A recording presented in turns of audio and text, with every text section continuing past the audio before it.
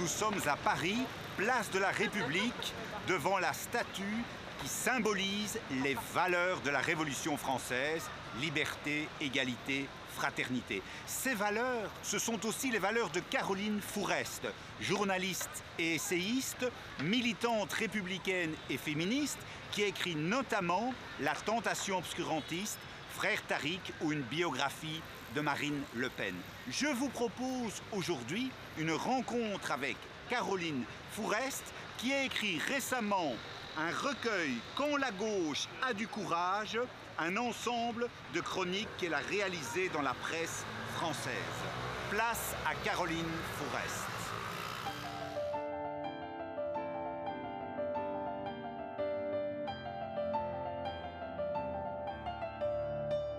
Caroline Fourest, j'aurais une première question sur base de l'ensemble des chroniques euh, que vous avez publiées récemment et elle concerne évidemment la laïcité. Dans la première chronique de l'année 2008, vous écrivez ⁇ J'aimerais me montrer vigilante envers les confusions qui règnent cette fois dans le camp de la laïcité. Il y a des vrais et des faux amis de la laïcité ?⁇ oui, sinon ce serait trop simple. S'il n'y avait que des adversaires euh, clairs et nets. Euh, d'abord, déjà, les adversaires de la laïcité ne sont jamais si, si ouvertement anti-laïques. Il faut beaucoup de travail pour les décrypter, parfois pour les démasquer. Mais en plus, effectivement, il y a toujours de faux amis. Et en l'occurrence, ces dernières années, les faux amis ont commencé à augmenter, à être de plus en plus nombreux. Euh, pour ce qui est de la France, par exemple, il y a des des petits groupes qui se sont dits laïcs, euh, comme, un site internet comme Riposte laïque, qui ne concerne pas beaucoup de monde, mais qui, qui montre une tendance, et qui se sont mis à utiliser des termes qui en fait appelaient à la tradition française, expliquer que, à soutenir par exemple euh, une, femme qui avait refusé euh, son hôtel, en tout cas qui avait refusé à deux clientes portant le voile, de porter le voile à l'intérieur de son hôtel, comme si elle était propriétaire d'une école publique, alors que ce sont des lieux très différents et que autant j'ai soutenu, et, j'en suis très fière, la loi qui protège l'école publique des signes religieux, autant dans la rue, dans les commerces, euh, c'est une autre histoire, c'est un autre espace de grande liberté. Et cette propriétaire, quand elle l'a fait, ça a été une histoire un peu importante qui a divisé le, camp laïque en France, en tout cas ceux qui suivaient les affaires de près. Euh, on a vu quelques militants, on s'était beaucoup fait traiter d'islamophobes hein, pendant des années parce qu'on avait soutenu cette loi sur les signes religieux. Et honnêtement, il y avait très peu de gens racistes parmi ceux qui étaient autour de nous. En tout cas, en militants, on était plutôt des militants euh, de gauche, antiracistes et laïcs. À l'occasion de quelques affaires, on a vu émerger effectivement des militants qui commençaient à franchement partir vers l'extrême droite et qui n'étaient plus du tout là pour défendre la laïcité, mais qui étaient là pour attaquer les musulmans. Et donc, euh, très tôt, avec Henri Pénaruiz, avec d'autres intellectuels laïcs, on les a euh, dénoncés essayer de, voilà, faire cette clarification pour dire non, on peut défendre la laïcité et absolument pas tolérer ce genre de dérive. Il y a donc une laïcité euh, ouverte, euh, positive par rapport à une laïcité fermée. Qui... Cette laïcité en évolution, elle vous inquiète? Alors non, là, les mots sont piégés parce qu'en en fait... Euh, Précisez bien les mots, justement. Laïcité ouverte et laïcité positive, c'est un autre faux ami de la laïcité, qui n'est pas sur le même, le même flanc, si vous voulez. Il y a des gens qui, au nom d'une laïcité dite ouverte et positive, en fait, défendent euh, la tolérance de l'intégrisme, le fait que la liberté religieuse dépasse toutes les autres libertés et même les devoirs communs. Euh, c'est une vision très anglo-saxonne de la laïcité où, par exemple, on l'a vu souvent au Canada, on finit par accepter que des, euh, que des groupes religieux obtiennent des dérogations à la loi commune. Donc pour moi, ça, c'est, pas, c'est une trahison du vivre ensemble, de, de l'égalité. C'est même la source ensuite de tensions qui peuvent justement nourrir les autres faux amis dont je vous parlais tout à l'heure, qui sont ceux que moi j'appelle les partisans. Euh, c'est même pas des intransigeants la laïcité. Pour moi, ce sont tout simplement pas des laïcs. Ce sont des gens qui utilisent le beau mot de laïcité pour recycler, renouveler un vieux fond de racisme anti-arabe qu'ils ont simplement fait muter en racisme anti-musulman. Ce sont des racistes, ce sont des gens d'extrême droite, ce sont euh, des intolérants, euh, ce ne sont pas des laïcs c'est propre à la France ou bien ces faux amis de la laïcité, vous pouvez les démasquer aussi ailleurs sur le continent européen, mais aussi ailleurs dans le monde Non, non, c'est pas du tout propre à la France, bien sûr. Ça existe dans tous les pays où on a eu des débats euh, très intenses et qui étaient nécessaires en plus, parce que c'est toujours pareil, face à, ces, euh, face à ces dérives, il y a toujours ceux qui se disent Ah bah du coup, il fallait pas parler de ces sujets-là, parce que ça allait générer euh, des instrumentalisations, des groupes qui effectivement en profitent pour renouveler le racisme. Ma position, même si elle est un peu inconfortable parce que ça veut dire qu'on se fait attaquer de tous les côtés, a toujours été de dire non, il faut combattre à la fois les deux. Il faut combattre les intégristes et leurs idiots utiles, et il faut combattre les racistes et leurs idiots utiles. Et il faut essayer de tracer un chemin à la fois antiraciste et laïque, euh, en, encore une fois, non pas en essayant de se mettre dans un trou et, attendre que ça passe, et en se disant, bah, surtout si nous ne parlons pas de ces sujets qui fâchent, eh bien, il n'y aura aucune polémique et donc il n'y aura aucun problème. Il faut parler des sujets qui fâchent, mais il faut en parler précisément. Et il faut surtout ne jamais se laisser instrumentaliser, récupérer, ce qui fait que moi, j'ai pu mener des débats à la fois contre Tariq Ramadan, mais je les ai aussi menés contre Marine Le Pen. Je suis à la fois quelqu'un qui a pu essayer de démontrer que, Tariq Ramadan n'incarnait pas un islam ouvert d'esprit, et en même temps euh, que Marine Le Pen, contrairement à ce qu'elle dit, n'est absolument pas laïque et, clairement appartient à un parti qui protège les, à la fois protège les intégristes catholiques, et en plus tient des propos sur les musulmans absolument intolérables, notamment dans... On a eu une confrontation à la télévision euh, euh, qui a beaucoup fait parler d'elle pendant la campagne présidentielle sur la question du racisme anti-musulman.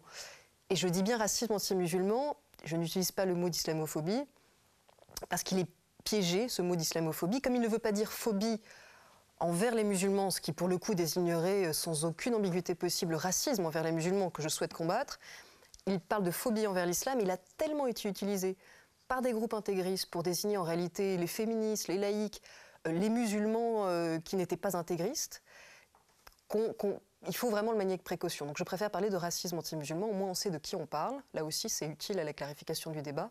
Et c'est ce que je vous disais, c'est-à-dire qu'il ne faut pas hésiter à aborder ces thèmes, mais il faut employer des mots précis.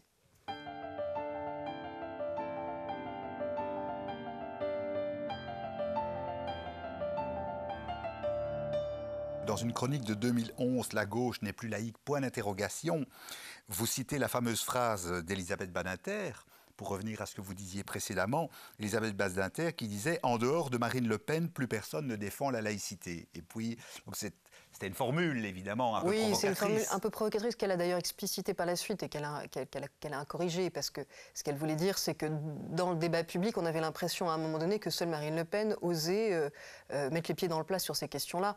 En réalité, c'est une conversation que j'ai pu avoir avec elle, il y a toujours eu des gens à gauche, hein, et contrairement peut-être d'ailleurs à, à d'autres pays, je pense qu'en France, la gauche laïque est restée quand même très très forte, vraiment. D'ailleurs, elle l'a emportée sur la, sur la gauche qu'on a tendance à dire un peu angélique ou, trouillarde, tout simplement, sur ces questions-là. Euh, donc, euh, elle a toujours existé, elle ne s'est pas tue, mais c'est vrai que, évidemment, le Front National, quand il parle, il parle forcément fort, puisqu'il parle faux, euh, il parle de façon simpliste, et donc, à partir du moment où il est simpliste, il se fait entendre toujours, toujours très haut. mais le Front National n'a jamais été laïque, et Marine Le Pen dès qu'on creuse, euh, on s'aperçoit, et ça a été aussi l'objet du livre qu'on avait avec Fiametta Vénère, c'est que d'abord on retrace l'histoire, encore une fois, du Front National. Euh, partie historique des intégristes euh, catholiques. Absolument. Moi-même, j'ai appris le début de, mon de mes travaux, le début de mon engagement laïque, c'est fait face au Front National, face à son racisme et face à son anti-laïcité. Mais en plus, quand Marine Le Pen amorce ce tournant par rapport à son père, où elle essaie de faire croire que elle est plus sur une défense du modèle républicain ou français face bah, face uniquement à l'islam, hein, parce qu'évidemment, il n'est jamais question pour elle de s'attaquer aux autres intégrismes. Et surtout, elle explique que la laïcité est un cadeau du christianisme. Alors que là, vraiment, euh, pour quelqu'un qui se dit nationaliste, il faut quand même qu'elle révise ses histoires, euh, ses, manuels d'histoire de France. Parce que Évidemment que la laïcité n'a jamais été offerte par le catholicisme et par l'Église catholique. Il a fallu lui arracher la loi de 1905 qui sépare les églises de l'État. Les députés français qui l'ont voté ont été excommuniés par l'Église en 1905. Et c'est un bras de fer. Il y a beau, on a beau avoir un denier de César qui rend à César ce qui est à César. La réalité, c'est que l'Église catholique, si vous ne lui mettez pas des frontières, des barrières, si vous ne lui tenez pas tête, elle est comme toutes les institutions religieuses, elle veut toujours plus. Et donc, de ce point de vue, je me suis aussi toujours élevée, dans un autre livre, notamment Tir croisé, qui remonte maintenant à, à 10 ans, euh, contre les, explications essentialistes euh, à propos des religions. Juste après le 11 septembre, moi ça faisait déjà 10 ans, plus que 10 ans que je travaillais sur les intégrismes euh, donc plutôt chrétiens, catholiques et protestants. Et quand le 11 septembre est arrivé, on a entendu des gens nous expliquer que, l'islam avait le monopole du fanatisme, que ça ne venait toujours que d'une même religion. Parce que l'histoire, mais même la réalité d'aujourd'hui, affirme complètement, dément. complètement. Tout à fait. Donc on a fait un travail avec Fiametta Vénère qui était de les comparer sur la question politique des femmes, de la culture, de l'homosexualité euh, et même du recours à la violence pour montrer où se situaient les convergences et les divergences. Et effectivement, il y a surtout beaucoup de convergences, même si ce ne sont pas des convergences de proportion, même si incontestablement l'intégrisme musulman a pu bénéficier d'un contexte géopolitique, notamment l'essoufflement du nationalisme arabe, euh, le fait qu'il ait beaucoup joué avec le feu du religieux tout en opprimant les démocrates euh, alternatifs potentiellement laïques, le fait que la colonisation ait pu être un instrument des propagandes des islamistes pour refuser toute rationalisation, toute modernisation, par refus justement du modèle du colon. Tout ça a joué en faveur de l'islamisme et fait, et fait explique qu'aujourd'hui il est beaucoup plus dur dans certains pays de lui tenir tête que de tenir tête à l'Église catholique. Mais alors, euh, du point de vue de l'histoire, encore une fois, avec un peu de recul, il n'y a aucune religion qui, euh, qui, ne cherche pas à avoir de l'emprise sur la vie en société. Et donc, c'est un bras de fer. Et donc, ça n'est sûrement pas un cadeau du christianisme. Et donc, la solution n'est pas le christianisme contre l'islam ou de réactiver les guerres de religion. C'est de réaffirmer un cadre euh, qui permette à ceux qui croient et à ceux qui ne croient pas de coexister ensemble sans que les uns soient supérieurs aux autres.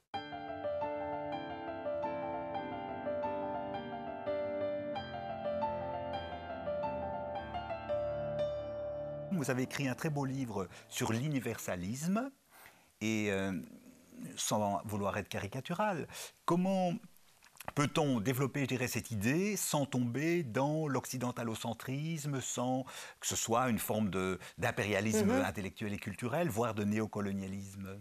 Mais justement, l'universalisme est, pour moi, est l'inverse euh, du colonialisme. Alors, je sais qu'il est caricaturé. D'ailleurs, c'est une propagande. Hein. il faut quand même euh, comprendre l'intérêt d'un certain nombre de pays, notamment aux Nations Unies, un peu moins ces derniers temps, mais à une, période très fortement, d'utiliser l'appel euh, au relativisme culturel ou à, en gros, au nom des traditions et des cultures, il faudrait que les droits de l'homme s'arrêtent aux portes de certains pays.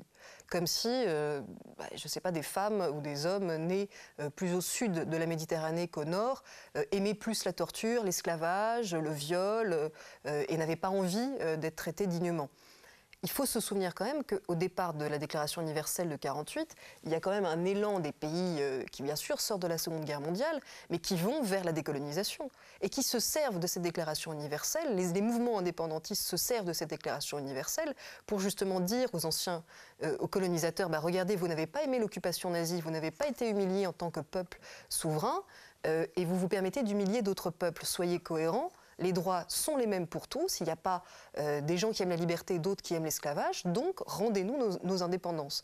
Donc c'est ça l'universalisme, c'est ne pas regarder l'autre de façon exotique, comme je l'entends si souvent dans la bouche de gens qui se prétendent les meilleurs amis, euh, les meilleurs amis des musulmans et qui ont des discours sur l'islam, mais absolument dégoulinant paternalisme postcolonial pour le coup, qui considèrent qu'en gros, bah, comme c'est une religion à leurs yeux plus arriérés que d'autres, il faudrait travailler avec les intégristes et les réactionnaires, les gens d'extrême droite au sein de cette religion, parce qu'au fond, ça correspond à ces gens-là.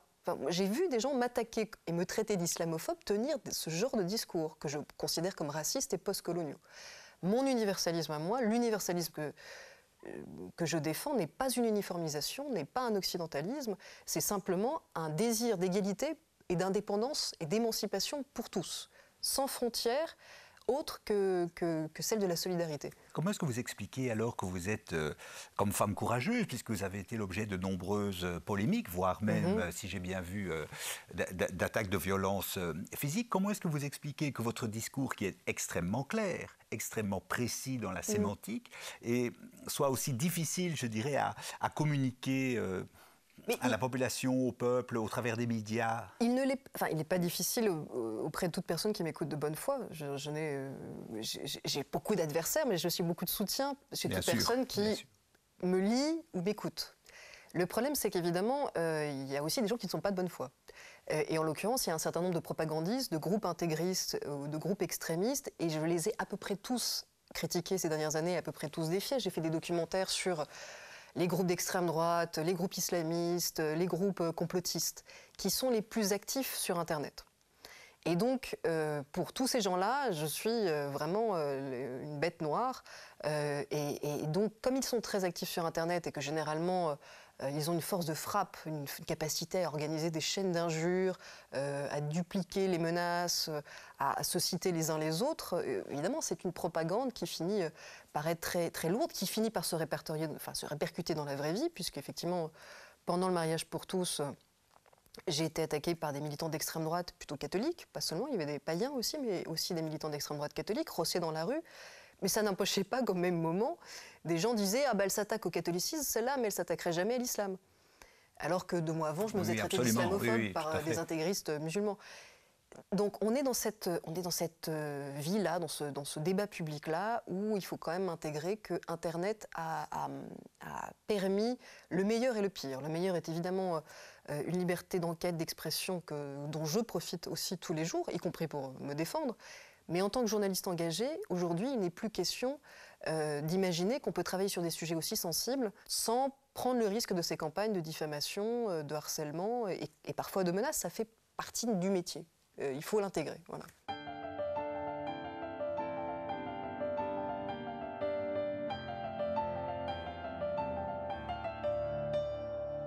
Votre livre de chronique balaye énormément de sujets, donc on n'a malheureusement pas le temps d'aborder euh, le cas de la Grèce, toute l'analyse que vous faites de, l'évolution de l'Europe. Je, voulais vous poser quelques questions sur certaines situations plus précises. Quel est le regard aujourd'hui Par exemple, vous avez un très beau texte sur euh, ce qui se passe euh, en Tunisie. Quel est le regard que vous portez aujourd'hui sur les, les, entre guillemets, révolutions arabes en Égypte, en Tunisie? Moi, j'ai toujours soutenu le, printemps arabe, les yeux ouverts. et d'ailleurs, on peut le retrouver avec ces textes de, l'époque. D'abord, en France, j'étais peut-être une des premières à dire, à l'époque où tout le monde disait ce sont des émeutes sociales, des émeutes de la faim. Et j'avais fait une chronique, la première disait non, ce sont des émeutes politiques, il se passe quelque chose euh, de très très important, et, mais qui nous a quand même tous pris de court parce que son ampleur, l'ampleur de, ces révolutions était juste inouïe et, et très contrairement à ce qu'on peut imaginer. Bien sûr que après l'été vient l'hiver islamiste. Et on pouvait déjà le savoir. Euh, dans un texte euh, au moment de la chute de Moubarak, euh, où j'écris Le mur du Caire doit tomber, je travaille depuis des années sur les frères musulmans, donc je n'imaginais pas une seconde que les frères musulmans n'allaient pas profiter de la chute de Moubarak. Et pourtant, il fallait la soutenir. Et pourtant, il fallait parier sur le fait que on ne pouvait plus être dans ce cercle infernal entre d'un côté des autoritaires nationalistes et de l'autre une, alternative islamiste qui avait un peu tous les, qui avait tous les avantages parce qu'ils apparaissaient à la fois comme les martyrs du régime, ce qu'ils étaient, hein, euh, ils ont été souvent mis en prison, réprimés, et en même temps comme la seule alternative possible puisqu'ils n'avaient jamais euh, au fond, à rendre compte de, de leurs actes. C'est un mouvement social euh, qui apporte de la soupe dans les quartiers où il n'y en a plus, qui apporte des soins dans des quartiers où il n'y en a plus. Donc il fallait crever l'abcès, il fallait que cette option autoritaire soit levée, même si on voit bien qu'elle peut revenir à la faveur d'un... Euh, mais, mais, en même temps, ça aussi, c'est quelque chose que beaucoup de confrères ne voulaient pas entendre. Et, l'histoire nous a, à moi et d'autres, hein, mais plutôt donné raison. C'est fou la vitesse à laquelle euh, l'hypothèse frère musulman c'est aussi périmé une fois au pouvoir. C'est-à-dire qu'une fois qu'ils ont été déclarés partis politiques, personnellement, moi j'ai dit, mais hurrah, maintenant ils vont devoir assumer. Maintenant, ils ne pourront pas jouer simplement euh, au martyr. Ils vont devoir assumer ce que c'est que le pouvoir. Et les Égyptiens, à une allure absolument incroyable, ont été euh, écœurés par l'utilisation politique de l'islam que font les frères musulmans. Écœurés à un point que d'ailleurs des, Européens ne comprennent pas aujourd'hui. Ils ne comprennent pas à quel point eux, ils ont pris confiance, conscience qu'il s'agissait d'un parti fasciste. Et que donc euh, c'est l'équivalent, si vous voulez, de si en Europe nous avions euh, élu, même légalement, même par les urnes, un parti d'extrême droite.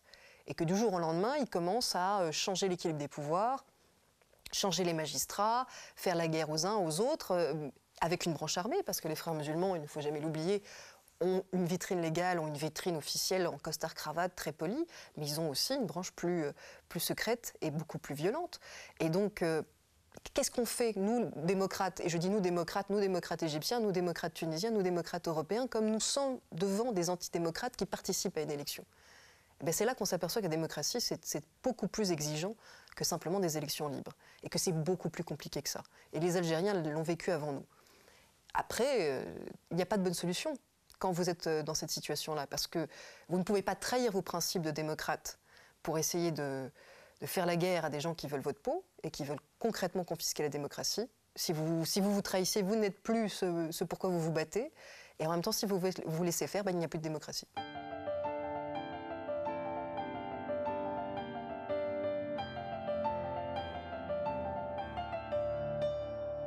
Vous avez écrit une très belle chronique que vous avez intitulée porter l'enfant d'une autre. Quel est le regard aujourd'hui, euh, même si nous, on n'a pas eu euh, en Belgique euh, la même polémique autour du mariage pour tous mhm. et de la bioéthique, quel est le regard aujourd'hui? Quelle est votre philosophie en matière de bioéthique?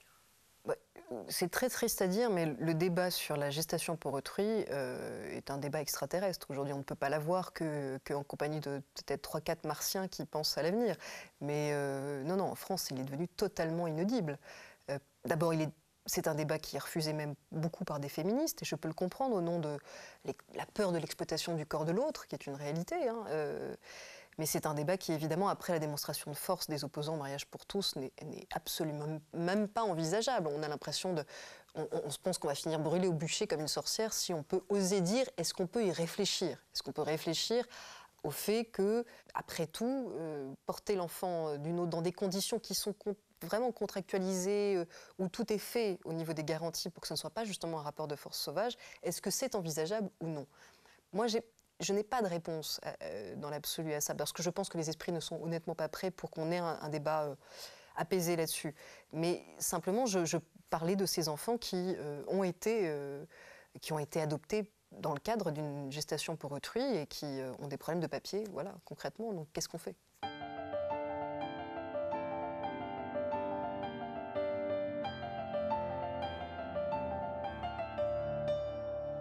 Vous avez écrit aussi une belle chronique sur les lois mémorielles, par rapport notamment à la loi en France sur le, sur le génocide mhm. arménien. Quel est votre sentiment par rapport à, toutes ces lois qui, euh, je dirais, érigent en infraction certaines conceptions de l'histoire Là aussi, c'est un débat complexe, très complexe. Euh, à partir du moment où on considère qu'il y a euh, certains génocides qu'on ne peut pas nier parce que ce qui m'ennuie, moi, c'est pas tellement qu'on. évidemment qu'il faut avoir un débat libre sur l'histoire, évidemment que ça n'est pas aux politiques d'écrire l'histoire. Simplement, il y a des groupes qui utilisent la négation de génocide pour inciter à la haine et à reproduire des massacres de masse. Et donc, nous avons des lois antiracistes en France, auxquelles je suis assez attachée. Et, je pense qu'on doit pouvoir trouver un moyen, effectivement, d'encadrer de, la liberté d'expression quand elle vise à inciter à la haine ou à reproduire la haine à partir de la négation d'un massacre d'un massacre de masse euh, comme un génocide.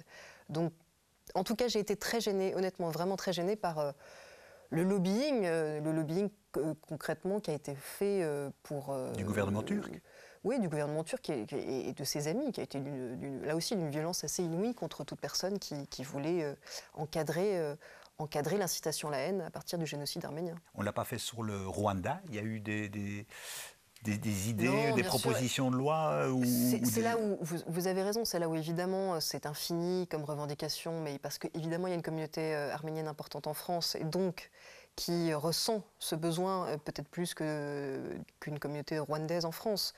mais bien sûr que c'est on ne peut pas faire des lois sectorielles. C'est-à-dire que ce qui est compliqué, c'est justement de devoir le faire génocide par génocide. Ça ne devrait pas se passer comme ça.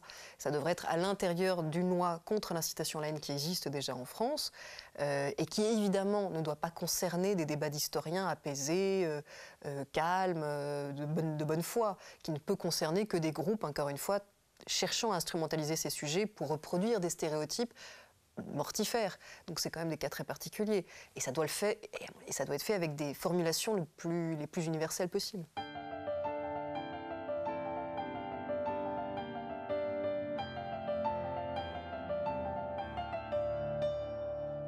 Par rapport au poids de tous ces obscurantismes, de, de, toutes ces attitudes extrêmement euh, discriminantes, discriminatoires, est-ce qu'il ne serait pas euh, intéressant qu'un jour, euh, les athées, par exemple, se rassemblent, se réunissent, euh, euh, je dirais, pénètrent les structures de l'État. Alors je sais que la laïcité n'est pas la même en France et en Belgique, bien évidemment, mais est-ce que l'athéisme en tant que, que, position philosophique et à la limite politique ne devrait pas petit à petit peser d'un poids plus important dans le débat public?